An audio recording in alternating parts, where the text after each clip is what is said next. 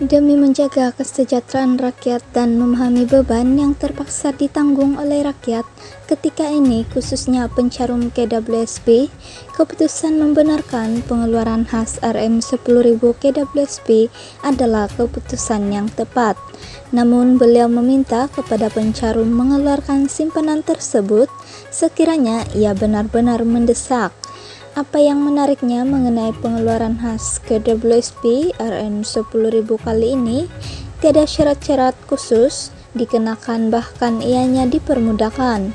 Namun terdapat maklumat tambahan dalam pengeluaran khas KWSP yang telah diumumkan KWSP pada hari